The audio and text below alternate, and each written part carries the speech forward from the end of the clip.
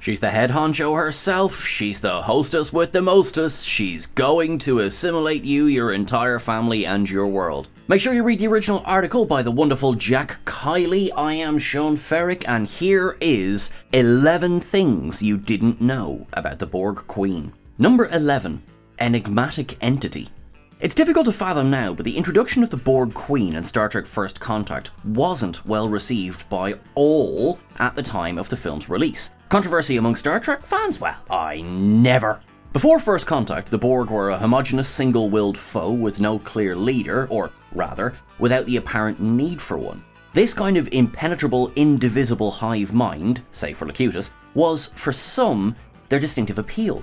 The fact the Borg Queen had never been mentioned in The Next Generation made the character equally perplexing for some fans. As First Contact co writer Brannon Braga discussed in an interview with StarTrek.com, it was quickly realised that a robot zombie, tight lipped adversary wouldn't quite work for a feature film. This is why the Queen was created to speak for the Borg, and not just because they were gunning for sexiest on screen kiss. Fans were also left unclear by the film as to the exact role the Queen played within the collective. You could think of the Queen as some sort of central processing and command hub from within the central nexus. As First Contact screenwriter Ron Moore also stated, the Borg Queen was always intended to be a literal person and not merely a manifestation of the collective. Number 10. Maybe she's bored with it. Maybe it's make believe. For their appearance in Star Trek First Contact, the Borg got a significant wardrobe and makeup upgrade overseen by the incomparable Michael Westmore. Individually moulded bodysuits and Borg implants were created, and airbrushing was used for the creepier, more intricately technological look on the skin of each drone. In the end, the whole process of Borgification took around five hours for each actor. Electronic makeup artist Michael Westmore Jr., son of above, also got creative and made the light on each one of the new Borg eyepieces blink the names of members of the cast and crew in Morse code. The transformation was the most extensive for Alice Krige. It took on average six and a half hours for the actress to get into the Borg Queen makeup and suit. The first bodysuit that was used caused her blisters, and the silver contact lenses that formed part of the look were so painful, Krige could only wear them for a maximum of four minutes at a time. The floating head sequence in First Contact was done mostly through practical effects. To achieve the scene, Krige was separated into two a prosthetic Borg neck with an animatronic spine fixed to her neck at an angle, and the rest of her body wrapped in blue, placed on a slant board attached to a crane rig to lower the actress down to the set. Just to be clear, the Borg Queen was separated in two. Alice Krige was not bifurcated for this film. Number 9. The Royal We. As the Queen herself put it, I am the beginning the end, the one who is many. Far from being a contradiction in terms, the Borg Queen is instead probably the ultimate example of the majestic plural. We have seen multiple different versions and copies of the Borg Queen over the years, leading to a lot of speculation as to just how this system of replacements works, still largely unexplained in canon. The Queen was by Picard Locutus' side on the cube headed to Sector 001 in the best of both worlds. Wolf 359 was an inside job, and yet, despite that cube's destruction, was very much alive and assimilating during the events of First Contact. Having dissolved in plasma coolant at the end of that movie, the Borg Queen nonetheless made a second appearance in the Star Trek Voyager feature length episode Dark Frontier. Alice Krige was unavailable to reprise the role for the episode, and so Susanna Thompson, who had auditioned to play the Queen in First Contact, was hired. Whilst this Voyager version was meant to be in the same line as Krige's incarnation, Thompson's Queen was also intended to be somewhat distinct. Thompson wore the same bodysuit as Alice Krige with only a few alterations made to fit, and the Queen's makeup got a bit of a retouch. Thompson will play the Queen once more in the Voyager two-parter Unimatrix Zero, and Krige returned in the season finale Endgame. In season 2 of Star Trek Picard, we would meet a different, but equally familiar Borg Queen, portrayed by the sadly missed Annie Wersching, and the character was then given a surprising twist by Alison Pill.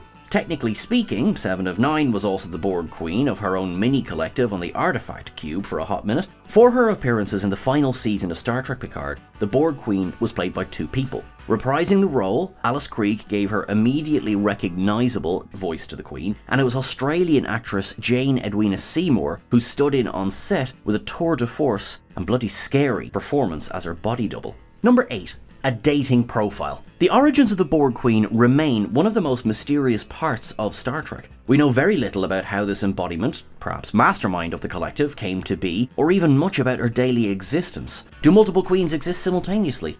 Similar to the bee, does any drone have the potential to become queen? From canon, we know that the Borg originated in the Delta Quadrant thousands of centuries ago, much like any other humanoid species. At an unknown point in their history, they began to incorporate cybernetic technology into their bodies. As the Vaadwaur revealed in Star Trek Voyager's episode Dragon's Teeth, the Borg had only assimilated a handful of systems by what was the 15th century on Earth. It's never indicated if the Borg Queen was around practicing her high wire act in the 1400s. The collective itself may not have known, as their memory of that time was fragmentary. Only the few bits of dating we do get for the or a queen comes from two Voyager episodes. In Dark Frontier, the Queen states to Seven that we all originated from lesser species. I myself came from species 125. Later, in Unimatrix Zero Part 2, the Queen intimates that, when she was assimilated, she was just about the age of the child she speaks to during her visit to the Borg virtual reality. While this would at least tend to mean that the Queen became Borg at some point rather than being created in situ, it would be difficult to date her assimilation, especially given the fact that the Borg use maturation chambers which may accelerate growth. Number 7. Tales worthy of assimilation. The seductive appeal of the Federation's greatest foe has been hard to resist for creators of Star Trek beta canon. What seems to entice writers the most is origin stories for the Borg and their monarch, and given that the series and films have provided us with very little on how the Borg, let alone the Queen, came to be, they have had a lot of creative space for invention. The very nature of the species tends to lend itself to origin stories along the themes of technology run amok or experiment gone awry, for example, both the Star Trek the original series manga story Side Effects from the Shinsei Shinsei anthology and the Strange New World 6 short story The Beginning depict the creation of the first Borg Queen as the result of ill-fated medical experiments attempting to cure a deadly disease. In the Star Trek Destiny trilogy by David Mack, the predecessor to the Borg Queen was the disastrous result of a last-ditch attempt for survival by a member of the highly advanced alien race, the Caeliar, capable of forming their own hive-like mind called the Gestalt, and a group of humans from the Columbia NX-02 stranded in the past. Some of the novels do expand upon the role of the Queen within the collective. In the Star Trek Voyager book, The Farther Shore by Christie Golden, the Borg have a royal protocol to quickly replace a Queen, whereas in the Destiny series, several Queens can exist at the same time. In the game, Star Trek Legacy, a Queen was needed to unite the Borg, who were originally created by V'Ger. In Star Trek Online, the Borg and their Queen returned in 2409 to launch an assault on the Alpha and Beta quadrants. In the perfectly titled The Next Generation Mirror Universe novel, The Worst of Both Worlds by Greg Cox, there's also a Borg King. Number 6. Don't be so three dimensional. Equally outside of what is considered canon, what you might not know is that the Borg Queen was central to the story of the Star Trek The Experience Borg Invasion 4D attraction in Las Vegas. The immersive experience, which included a number of live performers, was set aboard a Starfleet research outpost. Guests on the ride were told, by the doctor no less, that they were there as part of medical research into their possible genetic immunity to Borg assimilation. Naturally, a Borg cube arrives to put a stop to all that, with none other than the Borg Queen aboard. 4D effects mounted in interactive chairs were used to make the audience feel like they were being infected by nanoprobes as the Queen appeared. Admiral Janeway arrives aboard Voyager and, with a little help from the Doctor, saves the day. Alice Krige, who had played the character only about a year earlier in Endgame, was the Borg Queen. As we find out in the Voyager Season 7 DVD extra, The Making of Borg Invasion 4D, all of the original Borg who worked on First Contact were hired for the filming, making it something of a family reunion for Krige. Number 5. Mind your beeswax. For the new Borg queen of a beehive to hatch from her cell, she must first chew through a wax cap in which the worker bees have encased her. The wonders of nature. Yeah, planet Earth this ain't. For her mechanical majesty in Star Trek, queen cells also exist aboard Borg vessels, although they seem to function as a place of temporary residence, or hiding, a locus of control, and somewhere to flee from. The queen cell contained a powerful piece of technology called a spatial trajector, assimilated from the Delta Quadrant species, the Sikarians, capable of transporting the queen up to 40,000 light years, but only in the event of an emergency. Each appearance of the Queen, aside from Star Trek Voyager's Endgame, has been in disembodied form. In Voyager, within Unimatrix 1, the Queen descended from a central alcove as little more than a head and shoulders, only for the knees and toes to join her from compartments beneath the floor. She's introduced in First Contact in disassembled mode, and Annie Wersching's Queen in Picard is similarly disincorporated, although with arms and more of a torso this time. It is likely that the Borg Queen spent most of her time disassembled in the central alcove, only going walkabouts when the need arose. By the time we see the Queen in season 3 of Picard, however, she could only dream of such flawless heights. Number 4. The Janeway Factor. Captain Janeway and the crew of Voyager had bounties of battles with the Borg Queen and yet, for the most part, avoided the nanoprobe treatment. As they hitched a transwarp ride back to the Alpha Quadrant, they even managed to decimate the Borg and destroy the, or at least one, Queen with just one hyperspray full of a neurolytic pathogen. It was also thanks to Voyager that the research of pioneering exobiologists, the Hansons, was found. The couple had set off in search of the Borg. During their three years in the field, before their eventual assimilation, the Hansons became aware of the existence of the Borg Queen and of her primary residence, Unimatrix 1.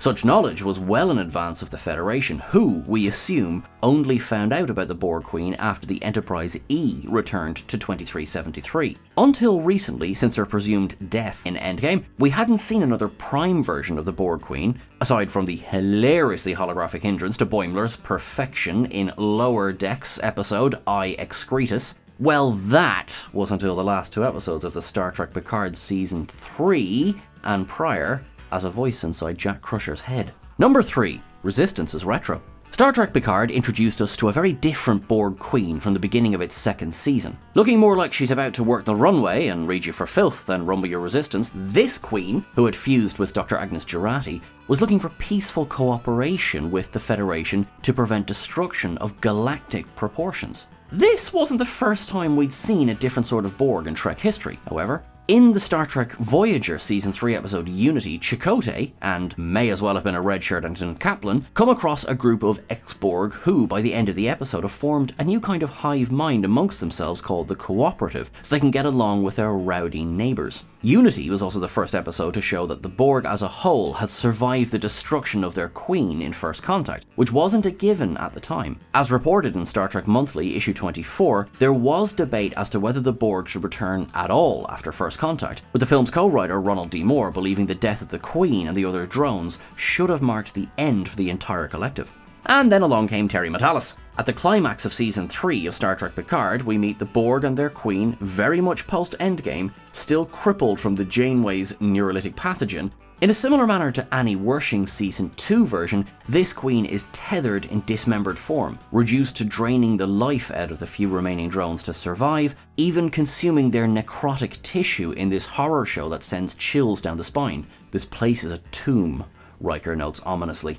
With the help of the changelings, who also shared the anger of a generation lost to Starfleet, the Queen created a new collective by assimilating the children of Starfleet through their genes. With the Queen's progeny Vox at the helm of the Hive, these Gen Z Borg are no longer just about assimilation, but annihilation. Number 2. If we could turn back time. One fact about the Borg Queen's original outing is so strange you almost won't believe it. Okay, I'll stop. As revealed in 2016, when discussions were being had about who should play the Borg Sovereign, a certain Oscar winning global pop star's name was in the mix. Had she got the part, perhaps instead of being lowered from the ceiling, Cher's Borg Queen could have entered slowly down an engineering ladder singing Fernando. However, we'd have to agree that First Contact was right in following makeup artist Scott Wheeler's advice when he said in the Hollywood Reporter interview that character would not have worked without Alice Krige. No offense to Cher, she's had some great moments, but it would have been so gimmicky. In another bit of if I could turn back timey-wimey, had Star Trek Enterprise not been cancelled after its fourth season, we might well have finally gotten an origin story for the Borg Queen that would have equally featured Alice Krige in the role once more. Krige would have played a Starfleet medical technician who would somehow have met the drones from Enterprise's episode Regeneration, leading to her becoming the Queen. Number 1. Is this the end, my friend? Star Trek Picard, the series, has reached its conclusion, and what an epic ride the final season has been. Not only was it the best of reunions for the next generation cast of characters, sorry Wesley, at least your mum gave you a shout out, it turned out their greatest enemy, the Borg Queen, was hiding behind that big red door inside Jupiter. In the series finale, the Queen is revealed in a mangled, ghoulish state. She does have arms though, so it's not all that, Standing beneath her less than majestic majesty is Jack Crusher, looking rather good in his leveled up Locutus getup. Or, as Chris said, he is the Burger King. Do you get it? Do you get it? This queen is desperate, vengeful. She has been working with the rogue changelings all along to weaponize Picard's pre-synth corpse Borgified DNA. Jack, who would probably have preferred to inherit the vineyard, instead receives Picard's genes, altered enough to turn him into a transmitter for a new Borg code. He is the command signal for this new evolution of the collective, and in some warped way, the Queen believes she's his mother.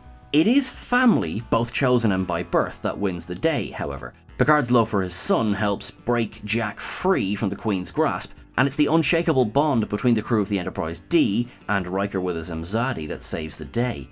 The last we see of the Queen is her raising her hand in a futile attempt to shield herself from the fiery blast, screaming out with no one there to hear.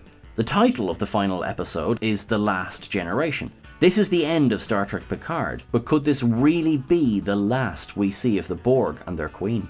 That's everything for our list today. Thank you so much to Jack Kiley for writing this list, and thank you so much to the wonderful editor Martin for making it look so pretty. You're all awesome, everyone. Thank you so much for following along. What do you reckon? Are the Borg done? Or will they regenerate and come back? You let us know in the comments below. Don't forget to get in touch with us over on Twitter at Trek Culture. You can also get in touch with us on Instagram at Trek Culture YT. I'm at Sean Ferrick on the various socials. Everyone, Slava Ukraina, look after yourselves, live long and prosper, and have a great time until I see you again. Thanks.